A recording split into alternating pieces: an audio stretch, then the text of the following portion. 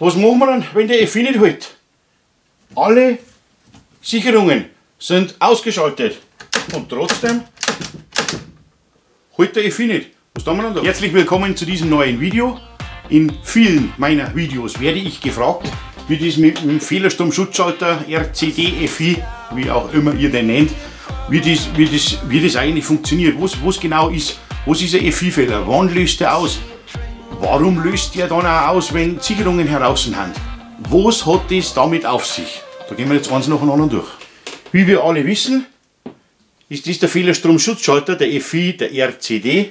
Da kommen oben der Neutralleiter, die Zuleitung plus die drei Phasen rein.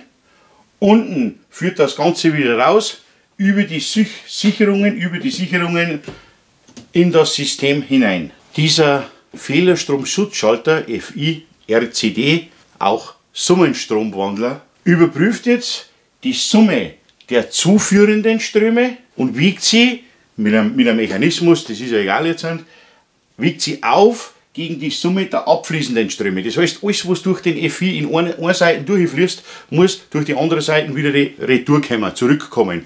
Entweder über Neutralleiter oder durch die Phasenverschiebung äh, über die einzelnen Phasen. Das geht jetzt ein bisschen stark in die Materie.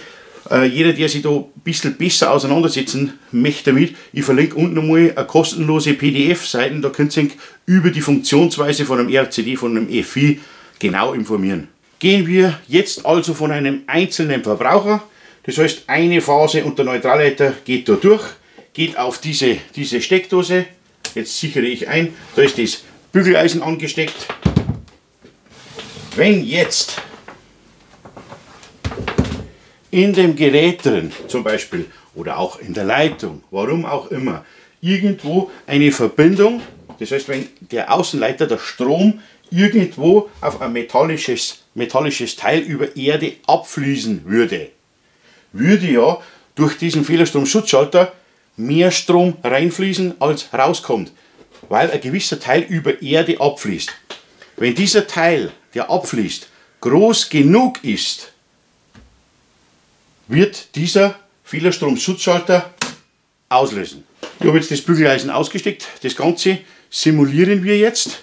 Das heißt, ich habe in, in, dem, in meinem Duspol zwei Tassen. Da kann ich eine, eine, über eine gewisse Last an Strom fließen lassen vom Außenleiter, also von der Phase, auf den, auf den Schutzleiter. Und dann müsste, wenn das in Ordnung, wenn das funktioniert, müsste ja der FI auslösen. Sicherung ist drin, das heißt Strom liegt bis da herum an der, an der Steckdose an. Da halt jetzt dann, sieht man das? Ja. Und jetzt halte ich aber die zweite Spitze auf den Schutzkontakt. Jetzt drücke ich die Tasten und dann muss der Fehlerstromschutzschalter auslösen.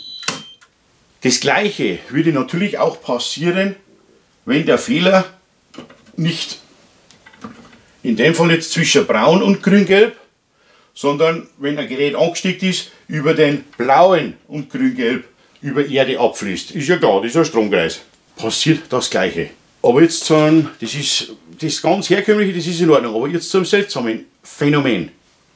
Wenn ich jetzt alle Sicherungen ausschalte, fließt ja auf die Steckdose oder liegt ja nirgends Spannung an, das heißt, da kann gar kein Strom fließen. Sicherungen, alle aus, RCD ein. Das heißt, ich habe da die Steckdosen, wenn ich jetzt ein Gerät anstecken würde, schon ein defektes Gerät, das einen Kurzschluss verursachen oder eine, eine, eine, eine Ableitung verursachen würde zwischen dem braunen Außenleiter und dem grün-gelben der Erde. Das werde ich jetzt da einfach simulieren und ich würde das da draufstecken, passiert nichts, Fehlerstromschutzschalter bleibt drin. Ganz klar, es hat ja, da ist unterbrochen, da ist unterbrochen. Im Prinzip habe ich jetzt einfach nur die Erde über die braune Ader bis daher gebrückt. Natürlich, wenn ich jetzt eine Sicherung einschalte, dann kracht es. ist immer noch, alle Sicherungen sind heraus. Ich habe jetzt da von, der, von, dieser, von dieser Sicherung die drei Adern, eine mit dem Neutralleiter, eine mit dem PE, eine mit dem Außenleiter. Wenn ich jetzt blau und grün-gelb brücke, da ist nirgendwo, auch auf dem blauer, nirgendwo irgendwo Strom drauf. Alles tutti. Wenn jetzt die blau und grün-gelb brücke, habt ihr das gesehen? hat es einen FI geschmissen. Warum? Wenn du, da fließt ja gar kein Strom. Warum? Dass gar kein Strom fließt, stimmt so natürlich nicht. Ich möchte jetzt das Ganze mal ein bisschen vereinfachen. Sagen wir mal, das ist euer Haus. An irgendeiner von den Steckdosen, an irgendeiner von den Steckdosen im Haus ist ein Kühlschrank angesteckt, ein Gefriertruhe angesteckt, ein Fernseher mit Standby, ein Laptop-Ladegerät. Das heißt, wenn jetzt irgendwo, irgendwo im Haus, irgendwo im Haus eine Sicherung eingeschaltet ist, fließt durch die Sicherung der Strom über die Steckdose auf, auf den braunen, über den Verbraucher, auf den blauen zurück, zu dieser Klemme, zu dieser Neutralleiterklemme. Das heißt, da haben, wir, da haben wir auf alle Fälle ein Potenzial. Und jetzt schauen wir uns aber das an, was da, was da ausgeschaltet ist. Wenn ich jetzt die Erde, die Erde auf dem blauen Neutralleiter liege,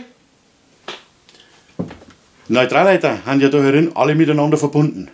Das heißt, es würde Strom sucht ja immer den, den Weg des geringsten Widerstandes, dass die Erdung, die Erdung, diese Fundamenterdung von dem Haus natürlich viel reizvoller ist, der Widerstand viel kleiner ist, als über das Netzsystem, über das Netzsystem zurück, ist irgendwo logisch.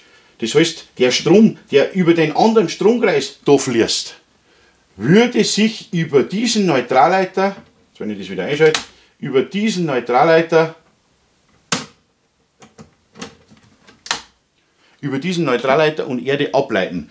Darum schmeißt den FI bei blau und grün gelb. Jetzt hat man aber vorher gesehen, wenn ich das ausstecke, habe ich ja an dieser Anlage überhaupt nichts. Da, ist, da, fließt, da, da kann ja jetzt überhaupt gar nichts fließen. Ich habe sämtliche Verbraucher, da ist nichts angesteckt. Wieso habe ich da das Gleiche? Das ist jetzt ein bisschen schwierig zu verstehen, aber ist ja das Gleiche. Wir haben die Zuleitung. In dieser Zuleitung geht ja die blaue Ader in den Fehlerstromschutzschalter, vom Fehlerstromschutzschalter darauf. Irgendwo haben da die Neutralleiter immer verbunden. Die haben ja immer irgendwo verbunden. Bei uns wird, wird ja der Neutralleiter nicht abgeschaltet. Es gibt Ausnahmefälle mit, mit, mit einzelnen äh, F4 LS. Da ist aber das dann wieder ein, anderer, ein kleines bisschen ein anderer Fehlerfall. Das heißt, selbst wenn irgendwo, irgendwo wenn, der, wenn der Fehlerstromschutzschalter eingeschaltet ist, das hängt jetzt bei mir auf einer anderen Verteilung. Auf der anderen Verteilung ist irgendwo Hausanschluss, äh, äh, auf, dem, auf der anderen Verteilung ist irgendwo Beleuchtung, die eingeschaltet ist, wieder der Kühlschrank, haben wir das gleiche Prinzip wieder. Selbst wenn im ganzen Haushalt alle Sicherungen heraus sein würden, heißt es auch da oft einmal, wenn man jetzt nur Panzersicherungen drin hat, einen Fehlerstromschutzschalter einschaltet und alle anderen Sicherungen rausmacht, auch dann kann das sein, dass über die Steigleitung, irgendwo über die Steigleitung, irgendwo äh, Ströme, Ströme in, in das System reinkommen, die reichen, über die Erde da abgeführt zu werden. Wenn einfach die Erde in diesem Fall günstiger ist,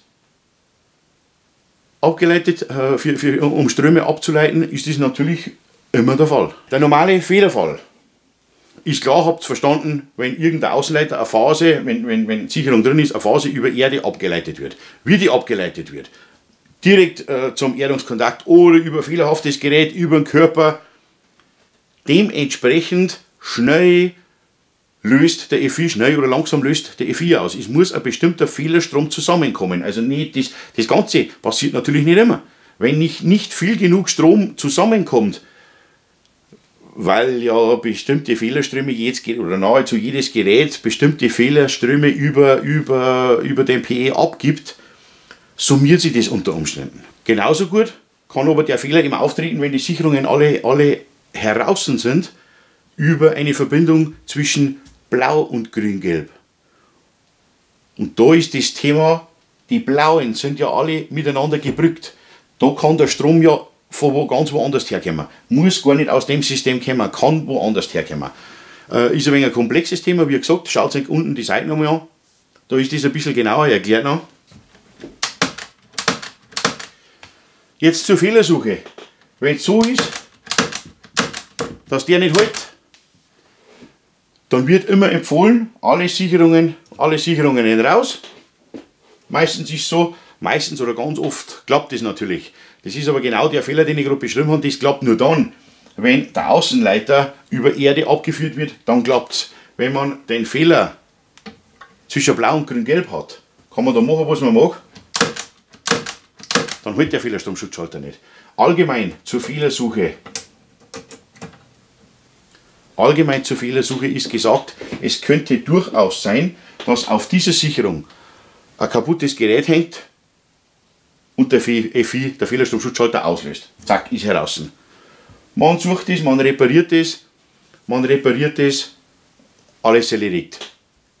Grundsätzlich ist es aber so, das kann durchaus sein, dass auf irgendeiner anderen Sicherung, weil im Keller irgendwo äh, ein Raum feucht worden ist, eine Wand feucht, feucht worden ist, eine verletzte Leitung drin ist und eine Aderverbindung zum Mauerwerk hat. Also Erdschluss suchen.